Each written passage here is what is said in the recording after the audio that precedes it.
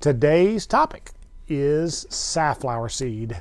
Safflower seed is a, a, a seed that it may it generates tons of questions and also d- divides feelings with people who have tried it and who feed from it feed it. I remember when I uh, took over the store, bought the store back in uh, 20 years ago. I remember people coming in and going, "Oh, nothing eats that safflower seed. Nothing eats that safflower seed." Um, and we, you know, I know John, the previous owner, said, "Boy, we don't sell very much of that." It is the, now the number two selling bag of birdseed in my store. So, what has changed in 20 years? Well, hopefully, it's a lot to do with education. And that is uh, safflower seed. We used to call it the problem solving seed because it was famous, or it is famous, as much for what doesn't eat it as what does, does eat the seed.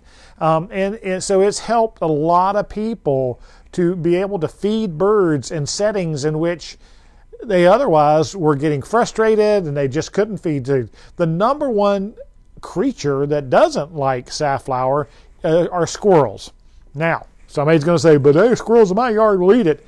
Yes, there are some squirrels that will eat a little bit of it, but if you watch it, there are very few squirrels that will ever sit there and eat and eat on it. A lot of times they'll take a bite or two and then they'll jump off if there's anything available else to available to them, they will not eat the, the safflower seed. They don't like the taste of it.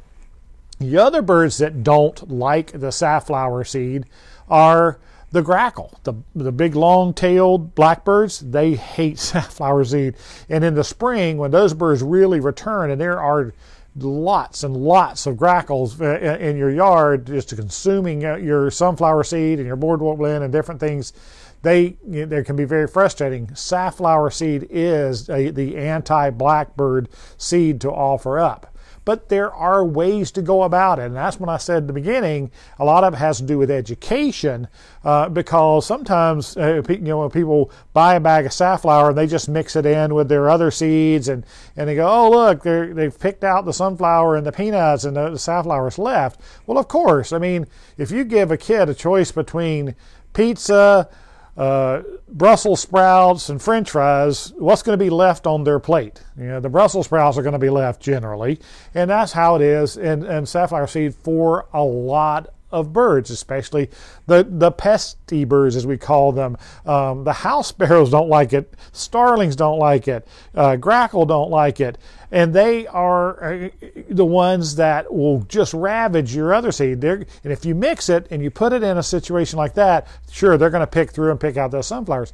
Even now, now even great birds like chickadees and, and titmice, they like safflower seed but it has a much harder shell on it, a harder coat, and it makes it harder for smaller birds to be able to crack it open. So if a, if a chickadee can grab a black oil sunflower seed, which he can crack open fairly easily, versus a safflower seed that takes more energy, then they're going to pick that too.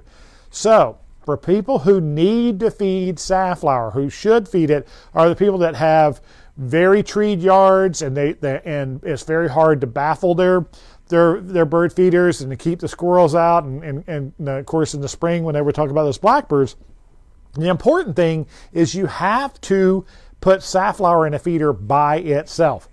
Now safflower looks like a little white sunflower seed and it but when you put that by itself in a tray feeder like in the video and my producer is going to turn the camera around it can show you the the the can the television going there with the you've probably seen it you've been in our store and, and I've posted this video before.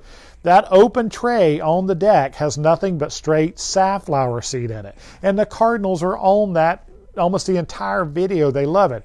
Every so often a chickadee runs in there and grabs a, a one and takes it off. Now uh, talking about those chickadees and titmice, you, the, the difference for them is they have to crack the seed open with their bill via hammering it. So the, you'll see the chickadees and the titmice and the white-breasted nuthatches eat it, but they'll take one seed, take it over, put it between their feet, and crack it, and then they'll get the heart of it out there and eat the, the safflower seed. And sometimes that's the reason why people think that they're they don't like it, but they do like it. There's a very nutritional seed for them, and so they do. But cardinals love it. Uh, rose-breasted grosbeaks in the spring love it.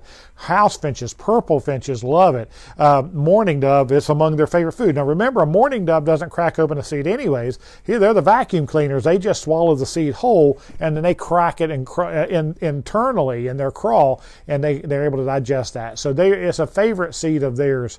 I always used to say at our house where we used to live. Uh, over outside of Liberty, I would talk about the, the boardwalk blend when I would put it at if a flock of doves landed in the big open tray that it was in there, then the next time I looked out there, it would almost be solid black. All they was left was a sunflower seed.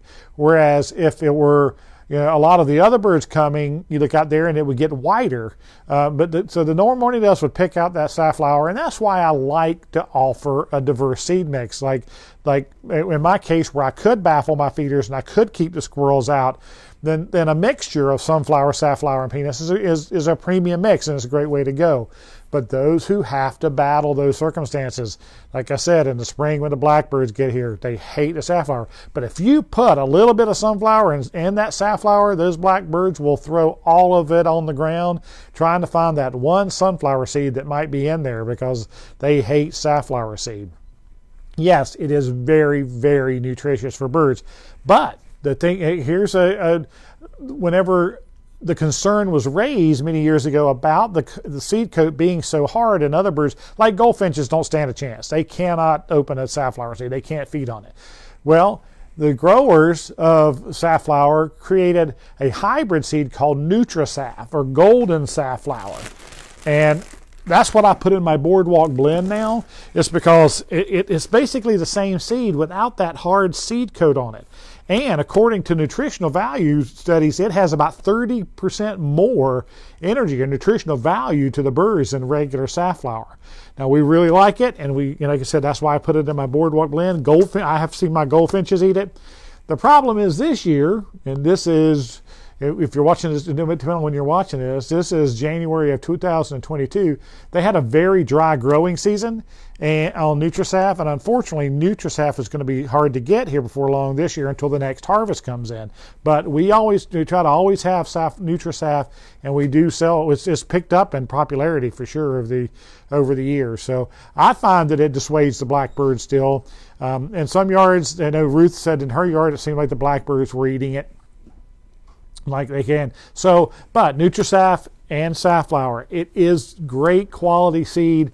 Uh, it, and again, a lot of it has to do with how you present it and also the birds that you've got used to coming to your yards. If you're a new to bird feeding and all you have fed is grocery store, I call them, um, junk blends with lots of waste seeds like Milo and cracked corn and lots of millet and things like that in it, you've probably got an audience of mainly blackbirds and sparrows.